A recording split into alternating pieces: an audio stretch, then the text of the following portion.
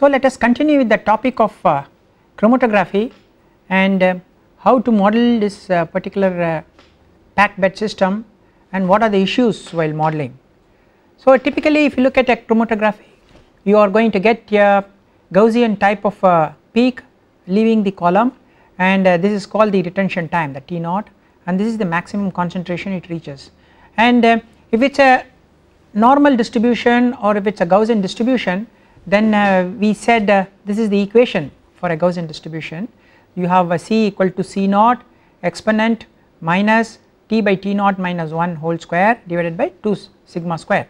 Now T naught is your retention time and the standard deviation for this Gaussian distribution will be T naught sigma okay. So making use of that uh, we brought in the concept of uh, number of theoretical stages or theoretical plates.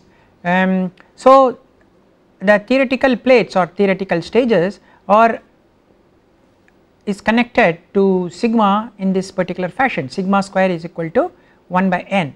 So if the sigma becomes smaller and smaller n becomes larger and larger. So sigma is related to standard deviation by this equation T naught into sigma is equal to standard deviation of the Gaussian curve okay. So if the if the Gaussian curve is very very sharp then your number of theoretical plates is going to be very large and if the Gaussian distribution is very broad then the number of theoretical plates you can say is less. And then you also have a relationship between C naught and Cf by this equation. And then later on we also looked at another equation which connects the retention time T naught with the several parameters the operating parameters as well as the chromatographic column parameters like epsilon, epsilon is the porosity of the packed column, um, V is the volume of the packed column, Q is the flow rate of the continuous phase. Now K is the equilibrium constant. Okay? If it is a liquid liquid system we used to call it partition coefficient. Otherwise we can call it an equilibrium constant. So if you incorporate all these then equation for C becomes like this. Okay? So you have here you have the number of uh, theoretical stages and then here you have the uh, T naught which is the uh, retention time.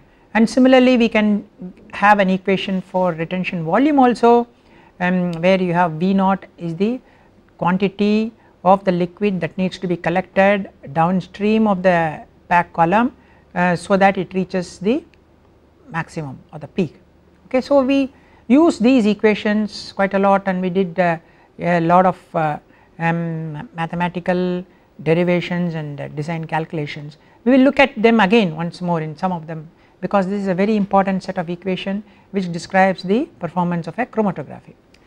We later on introduced something called uh, error function okay this is also called a Gauss error function or a probability integral because uh, it is a it is an integral between limits between two limits okay. So f(x) or the error function of x is given by 2 divided by square root of pi integral 0 to x e power minus t square dt. So if you look at the function it looks like this no it looks like a sigmoidal curve. So between 0 and 3 it starts from the value of 0 and then it goes up and saturates at 1 and in the negative direction again uh, it starts from 0 goes down in the negative direction and saturates at minus 1. So there is a table which gives numerically integrated values for fx for different values of x. You can see that when x is equal to 0 the error function of x is equal to 0 and it keeps going up initially sharply as a representation of this but then later on it sort of uh, stabilizes peters out okay and then it reaches a value of 1. So beyond a point uh, um, you around 0.15 or 1 say 1.6 or 1.7 you can see the um, error function of x is almost close to 1 actually. Now uh, this uh, particular table uh, was taken from uh, Wikipedia website. So for any value of x we can calculate the error function from this particular table. So this equation uh, this table is going to be very very useful in calculating uh, yields. Now imagine a situation in fact this problem we did that in the previous uh, uh lecture as well. So imagine a chromatography um, peak like this at 170 minutes um, you have a concentration like this and the retention time is 190 minutes. Now we want to know what is the yield at 200 minutes that means if I collect the sample up to 200 minutes what is the yield of this particular protein. Now many things are given here the T naught that is the retention time is given and then you are also given uh, some concentration value C at a particular time t. So making use of this what can we do we can calculate sigma and then using sigma we calculate the yield at 200th minute. So if you look at this equation we know C that is 0.0063, we know C naught that is 0.0152 and we know T naught which is 190 and we know T which is 170. So by substituting all this we can get a value for sigma. So that is how you do that. By substituting all this into the equation we get sigma. Now we go to the yield equation. I hope you remember the yield equation. Yield is equal to 1 by half multiplied by 1 plus error function of t by t naught minus 1 by square root of 2 sigma. Now why does this 1 comes in? Because um, we are going to collect sample up to 200 minute which is greater than the retention time 190 minute. So if we keep collecting up to 190 minute the yield will be 50 percent that is 0.5. So if you are going to collect beyond 190 minutes obviously the yield is going to be greater than 50 percent that is why this particular term comes in here.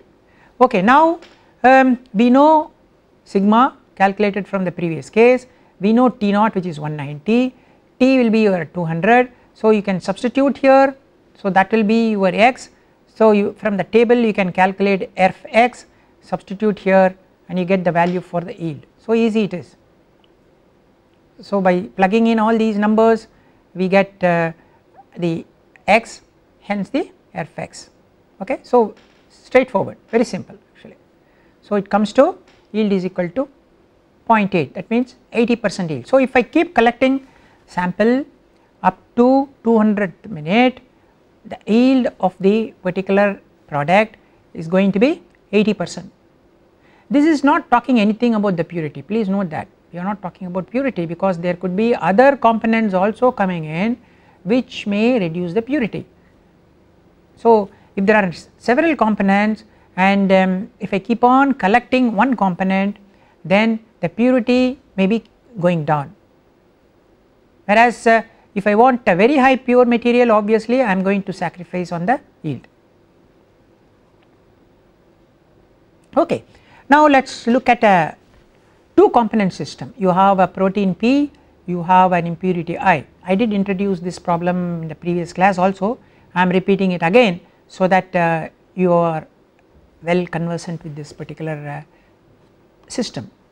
Now imagine you have a Gaussian type of distribution for protein P, uh, the uh, T naught or the retention time for the protein is 6.42 hours. Now the impurity also has a Gaussian distribution but it is coming at 7.6 hours okay. So at 6.42 hours you have only the protein whereas the impurity is 0 at 7.6 hours um, you have some amount of protein and uh, you have impurity at 7 hours you have very little of uh, the impurity and uh, predominantly more of the protein. Now how do you solve this problem? Now you will have two different uh, Gaussian distributions so and you have two different retention times so obviously you are going to have two different sigmas. So how do you calculate those two sigmas? We can calculate from these places. We know that T naught for the protein we know the T naught for the impurity correct? And then uh, we also know uh, the concentration values at different times. At you know the C naught for the protein you know the C naught for the impurity. We also know the concentration at some other intermediate time. So we can again use the equation C is equal to C naught e power minus T by T naught minus 1 whole square divided by 2 sigma square. I hope you remember this. So um, for the protein T naught will be 6.42 correct and C by C naught will be 63 by 82 and T will be 7. So we can calculate sigma. Similarly for the impurity uh, C by C naught will be the same here as this, this divided by this um, that is this value by 43 and T naught will be 7.6 hours and T will be 7 again you can calculate a sigma for the impurity. So you are going to get two different uh, sigmas like this sigma for the protein sigma for the impurity. Now yield is given by this error function equation okay where uh, half into f of t by t naught minus 1 divided by square root of 2 sigma minus f t dash by t naught minus 1 divided by square root of 2 sigma.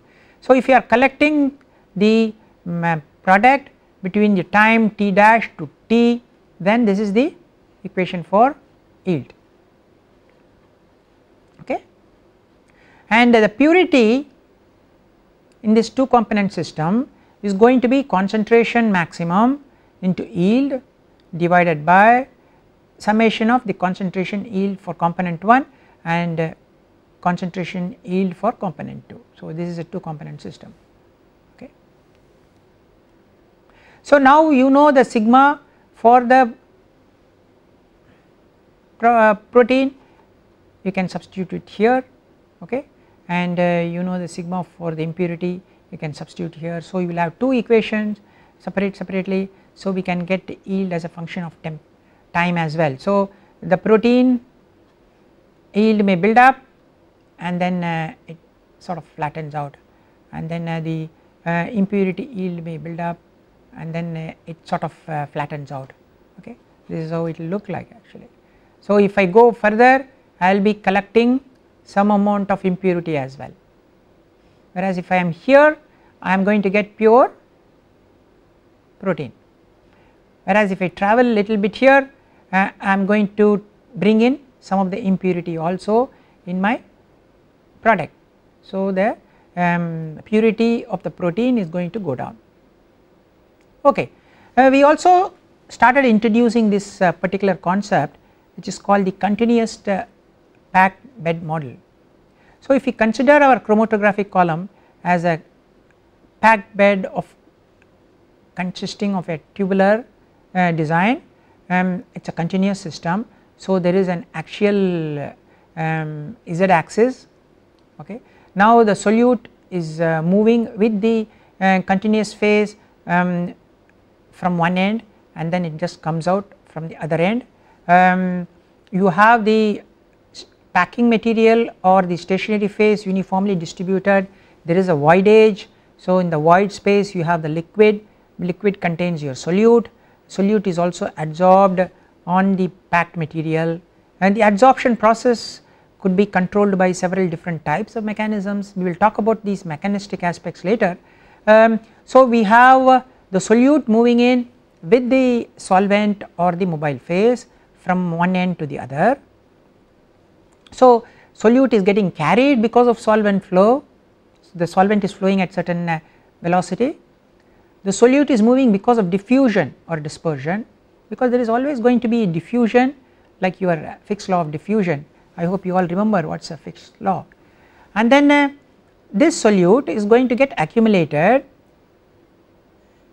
in the voids of the interstices of the bed that means the voids of the interstices of the bed is going to contain your uh, um, continuous phase solvent so solute is going to be present there and you are also going to have a solute accumulated or adsorbed onto the stationary phase that is the solid material. So you have two accumulations okay. So if you combine all these you are going to end up with a partial differential equation this is a typical partial differential equation. So on this side that is on the right hand side you can see you have a diffusion term here this is called the axial diffusion or dispersion term and then uh, this is going to be a d square c by dz square. This term comes because of diffusion and then you have a flow term that means you are going to have a solute movement because of the flow. Now z is the axis z axis okay. So you have a um, term coming because of the diffusion of the solute in the along the axis and you have a term here which um, talks about uh, the uh, flow of the solute with the bulk uh, solvent. On the left hand side you have two accumulation terms one term corresponds to the accumulation in the um, void space that is in the continuous phase another term um, is because of the accumulation in the solid phase okay. So you have two terms. Now C is the concentration of the solute in the um, in the interstices um, or C is the concentration of the solute in the mobile phase whereas Q is the concentration of the solute in the adsorbed or in the stationary phase okay. Now epsilon is the voidage that is voids and 1 minus epsilon is obviously the amount of uh, solids present okay. So there has to be a relationship between C and Q and that relationship may depend based on the type of uh, mechanism that is operating okay you can have different types of mechanism which uh, will determine what will be the relationship between C and Q. Um, so you need to have a very simple mechanism then you will be able to solve this uh, equation analytically otherwise we may have to solve numerically. Now you can consider several approximations uh, if you want to solve them analytically. So now what are the approximations? We can assume that the diffusion or dispersion uh, is negligible that means d square c by dz square could be omitted. We could assume that the accumulation in the void space is also negligible. Okay? Accumulation in the void space is also negligible. Okay. So then what do you end up with? You will end up with the accumulation on the stationary phase that is the solid phase and this arises because of the flow of the bulk material bulk solvent. Understand. So we have neglected the accumulation in the void space or the mobile phase we have neglected the dispersion so we end up with the simpler looking equation. Now the you needs a lot of initial conditions the initial conditions are there are no solute adsorbed on the packing um, when the time is 0 or less than 0 because we have not uh, injected any um, solute we inject solute only at time equal to 0. So at any place inside the column when time is less than 0 q equal to 0 and at t equal to 0 that is at 0 time uh, we inject the solute at the entrance of the bed because only at the entrance we are injecting these are the initial conditions. But uh, still it is not enough uh, if you want to solve this particular uh, partial differential equation okay. So we need to have some relationship between q and c otherwise we will not be able to solve that. So that means we need to have what type of mechanism is operating there could be a lot of things happening inside um, physical processes happening because it is a chromatography we will assume there is no reaction. So there um, um, but there are a lot of physical processes taking place which may be controlling uh, which determines the relationship between q and c. So what are the various physical processes that may be operating here?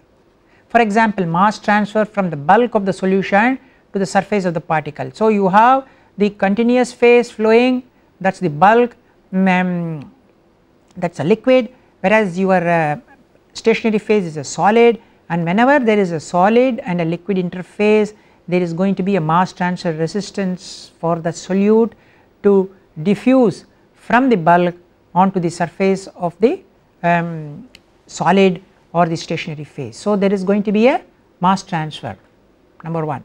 Number 2 if there are pores um, in your stationary phase there could be diffusion of the solute into the pores. So that could be controlling. If there is a reaction taking place then the reaction also may be controlling but in, in a normal chromatographic system we shall completely omit this. So these two things may be happening one is the mass transfer from the bulk of the solution to the surface of the catalyst or the solid material may be controlling or the diffusion of the solute from the surface of the uh, stationary phase into the pores may be controlling. So, depending upon which is controlling you may have different types of relationship between Q and C okay.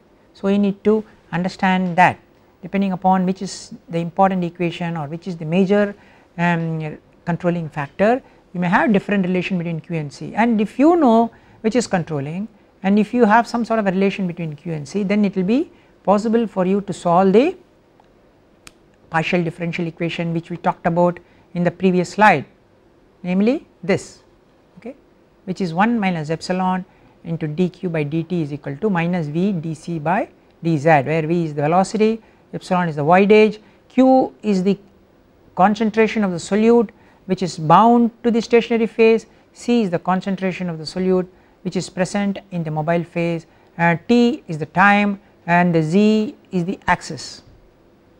So what it means? It means the concentration varies along the axis of the chromatographic column as well as the concentration varies as a function of time. Okay.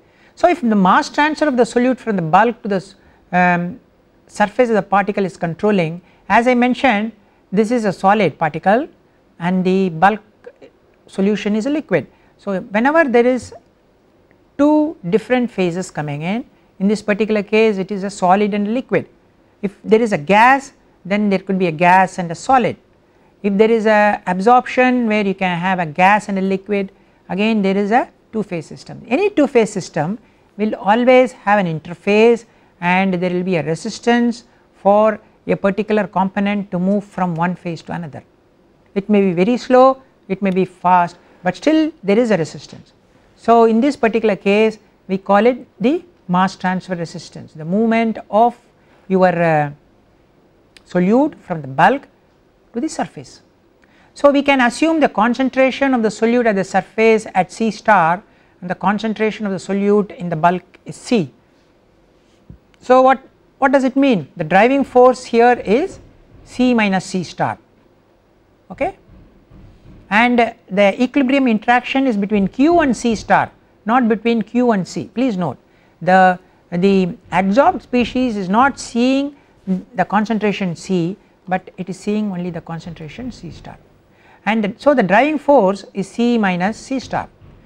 So if the mass transfer of the solute from the bulk to the surface is controlling then you can consider equation like this 1 minus epsilon dq by dt is equal to KL A into C minus C star where C is the concentration of the solute in the bulk, C star is the concentration of the solute on the surface of your uh, particle, KL is the mass transfer coefficient, A is the packing area per bed volume and epsilon is your voidage, Q is the concentration of the solute uh, on the stationary phase okay. So if the mass transfer is controlling what this equation tells you is the accumulation of the solute uh, in the solid phase is exactly equal to the amount of uh, material which is uh, moving from the bulk to the surface okay.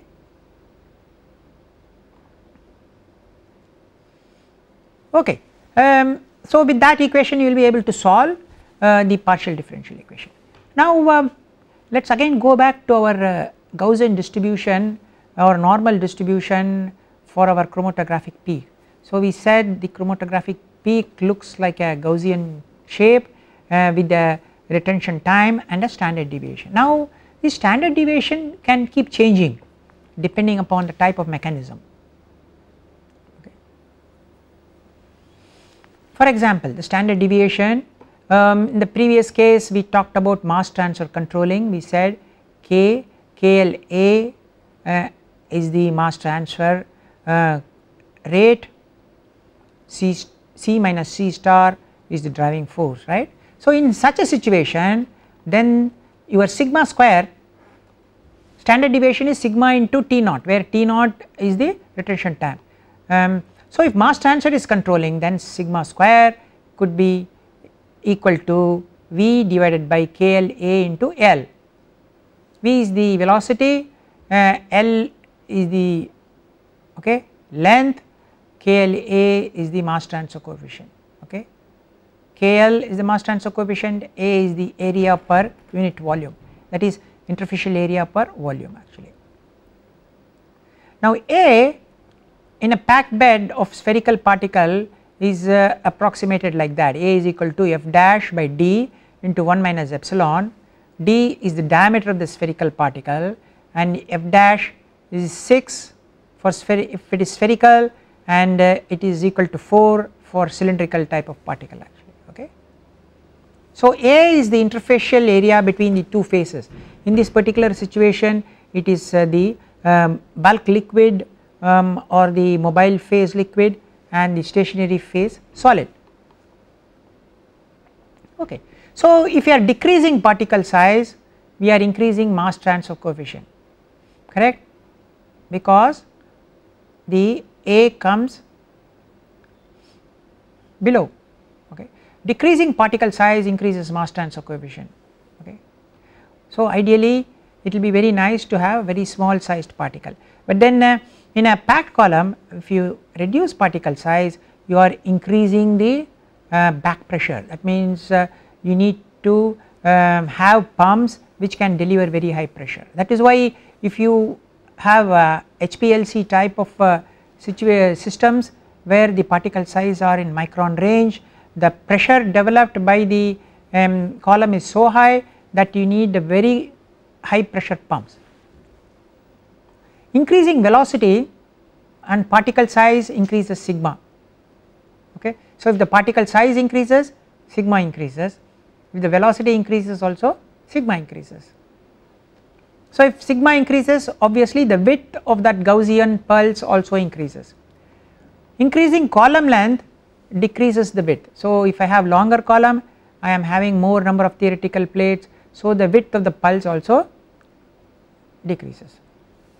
Now in addition the standard deviation changes because of dispersion of flow in the column due to polydispersed packing material because although they say we have uniform sized particles packed inside a chromatographic column there will be still a distribution of sizes on the average diameter you know. So there will be a plus or minus 10 percent of the average diameter. Um, so the polydispersity also will affect the standard deviation. Now let us again uh, go back to the same chromatographic uh, um, output like this. Now the retention time is 93 minutes okay. Now I want to calculate what is the time required if I want to have 90 percent yield. This is a very important problem I have a protein uh, in a mixture I am running a chromatography and I know the retention time I know the standard deviation I want to know how long should I keep collecting uh, this uh, effluent so that I get a yield of 90 percent. So it is a very important problem. Now the standard deviation for this system is 12 minutes. So the uh, retention time is 93 minutes, standard deviation is 12 minutes. So how do you calculate yield? Okay. Now so I know T naught, I know standard deviation so I can calculate sigma 12 by 93. Now taking this I can substitute into the yield equation. Now the yield of course I want 90 percent yield. So obviously uh, if I am collecting sample up to the retention time my yield will be 0.5. So anything above 93 minutes my yield will be above 0.5 okay. So what equation do I use? I this is a general equation for yield which is half into f t by t naught minus 1 divided by square root of 2 sigma minus error, error function t dash by t naught minus 1 divided by square root of 2 sigma but uh, because my yield is going to be more than 50 percent I will use the simpler equation okay half into 1 plus error function of t by t naught minus 1 divided by square root of 2 sigma. Now in this equation yield I substitute as 0.9 t naught is 93 sigma is given uh, by 12 divided by 93. So if I substitute all of them the only unknown is T. So from this I can calculate what should be my time until which I keep collecting the uh, effluent so that the yield is 90 percent. Okay, so first I calculate uh, sigma then I substitute there. So by doing this and how do I calculate fx I if you remember I showed you a table where given a x I can tell you what is the error function x okay. So if I keep collecting up to 115 minutes my yield will be 90 percent. So you see this is a very important problem especially if we are um, um, wanting to collect as much as the uh, metabolite that is present in my broth as possible. Okay. So I use uh, the same equation and uh, I have T that is the only unknown rest of the things are known. So T comes out to be 115 minutes. Okay, let us look at yeah, another problem where uh, we are looking at the type of uh, controlling mechanism. Okay. So initially my mobile phase velocity is 30 centimeter per hour, now I am doubling it that means it has become 60 centimeter per hour. So I want to achieve this 90 percent yield, now how long do I wait? Now the controlling mechanism is internal diffusion, the process is controlled by internal diffusion. So if the process is controlled by internal diffusion anyway sigma square is going to change okay or the standard deviation is going to change or the width of the these peaks are going to change right. Um, now if the process is controlled by internal diffusion that means diffusion of the solute inside the pores of the solid matrix then sigma square is proportional to v the velocity d square d the particle size particle diameter and L the length okay. So here I am doubling the velocity from 30 to 60 so obviously sigma square will get doubled or sigma will be square root of this number okay. So I will get a new sigma I know the old sigma so with the new sigma I substitute so I should get a different time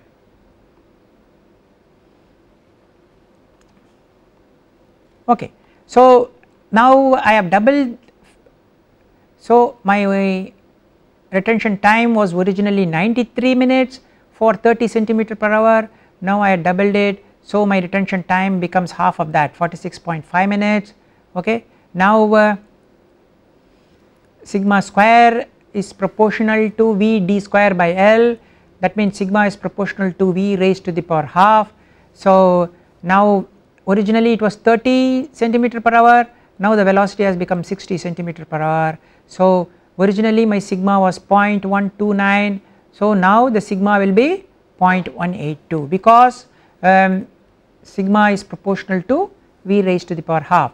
Velocity has doubled. So you have to multiply by square root of 2.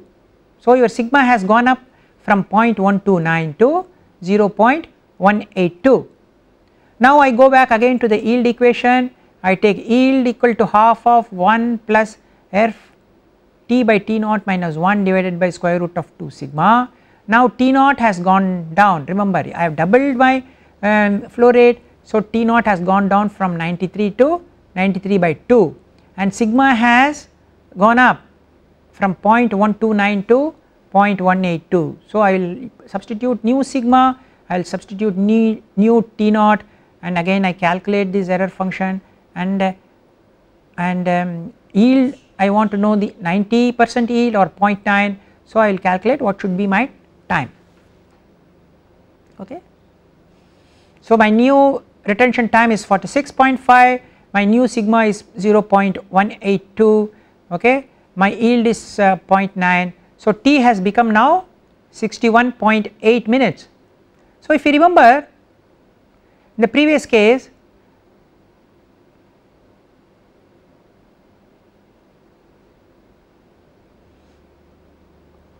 okay so T has become 61.8 minutes with the internal diffusion.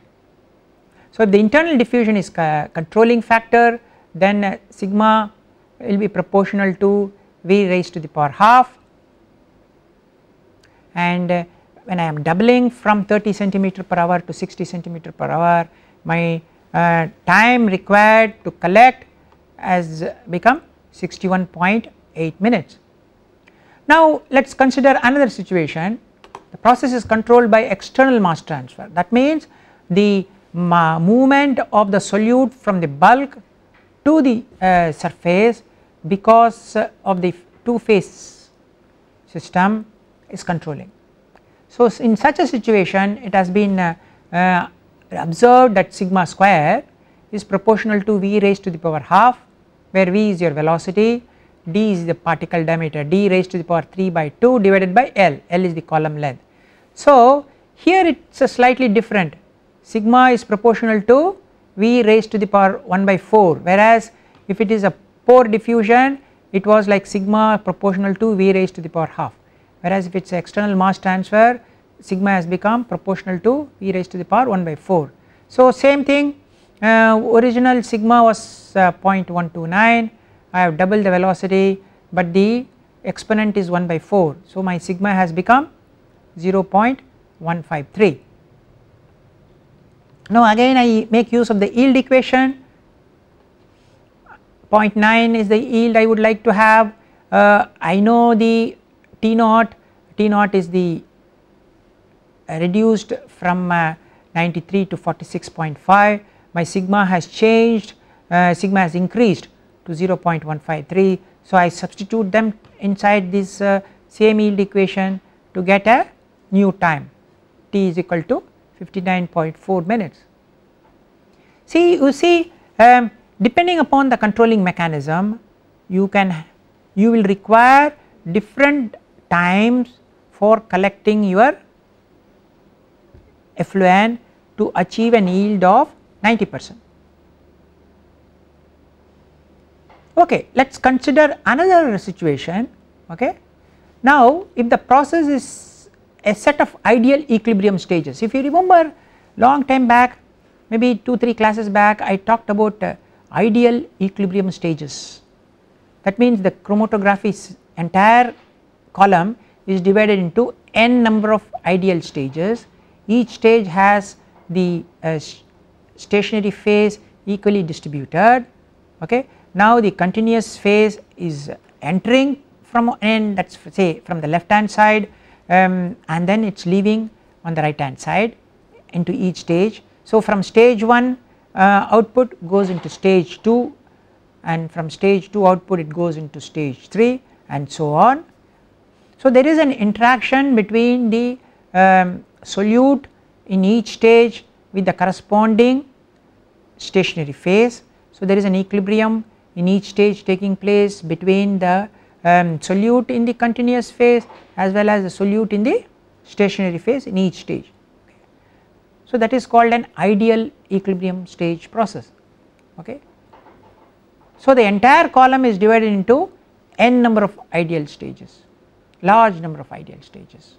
So in that situation sigma square will be proportional to 1 by L that is the column length.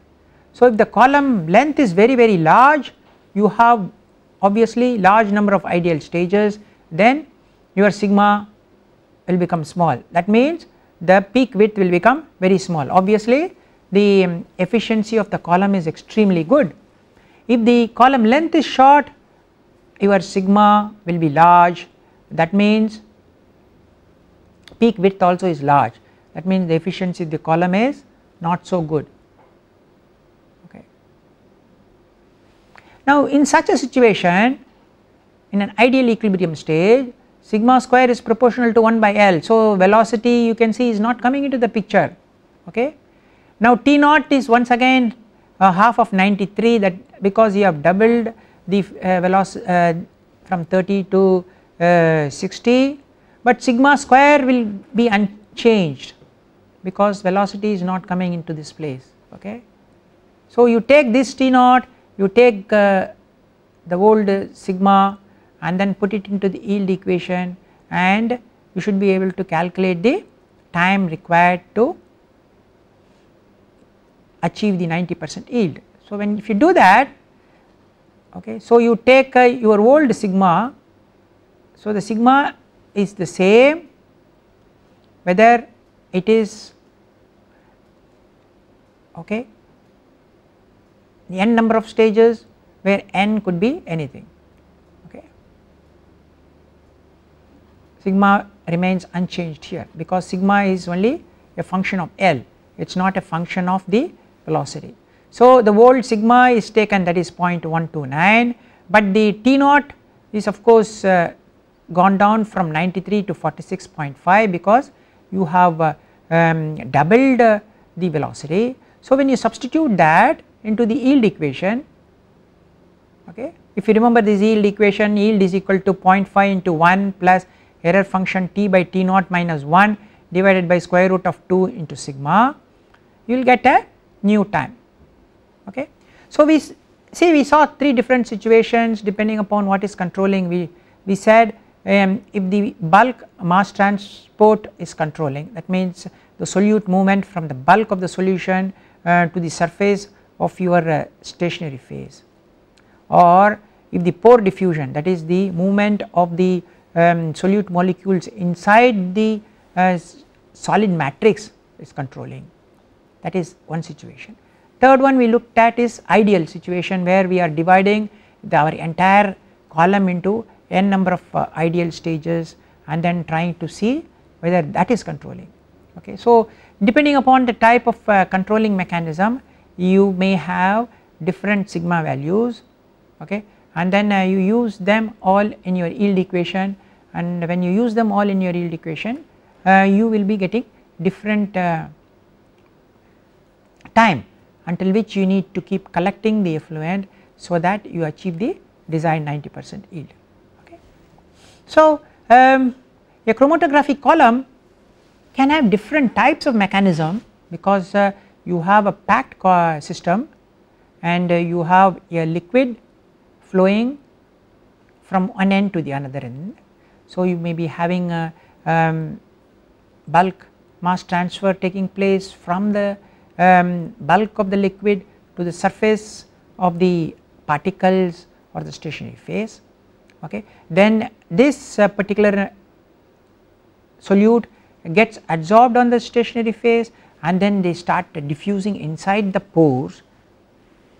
So that could be controlling and if there is a reaction taking place between the solute and the stationary phase material or if there are any ligands present in the stationary phase material which is uh, acting as a catalyst then there could be a reaction taking place.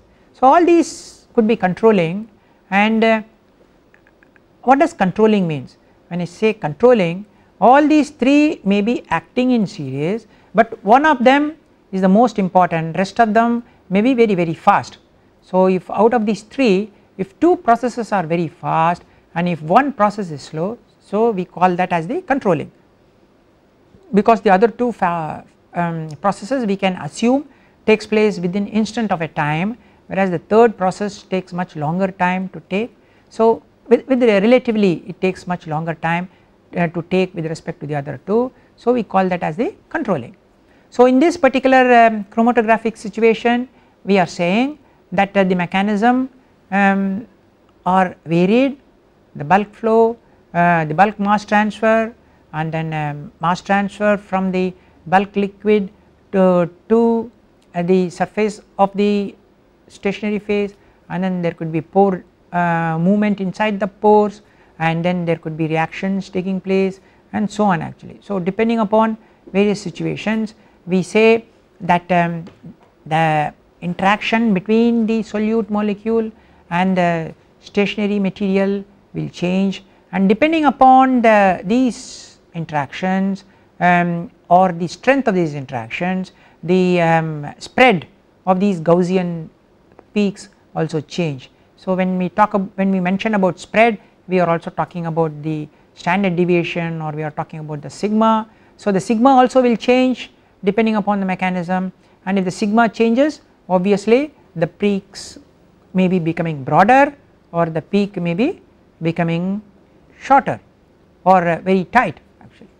So we looked at large number of uh, um, mathematical uh, equations um, we also looked at various types of situations which uh, help you in designing uh, the type of uh, um, process operations which we need to carry out.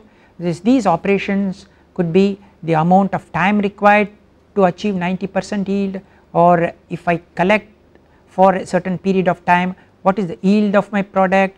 And um, if I have two or more different um, uh, types of solutes if I am collecting at different periods of time what will be the impurity levels um, and so on actually. So these are very very useful especially if you are running a chromatography and if especially if you would like to know um, how to run a chromatography efficiently and try to get maximum purity as well as the maximum yield.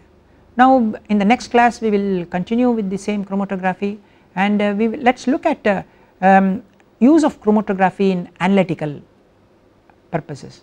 Like you must have all heard about the HPLC the high pressure liquid chromatography or high performance liquid chromatography which is predominantly used for only analytical purposes where if you are interested in identifying a particular metabolite that may be present in your mixtures it could be a protein it could be a biomolecule it could be a small molecule. Or if you want to um, look at the quantity of that metabolite in the mixture we generally go for HPLC and it is very useful if uh, the component um, is not vaporizable that means uh, it may have a very high boiling point or uh, if I heat it up it may lose its activity then ideally this type of uh, um, analytical instrument predominantly the HPLC is extremely useful. So that is what we will be talking about in the next class.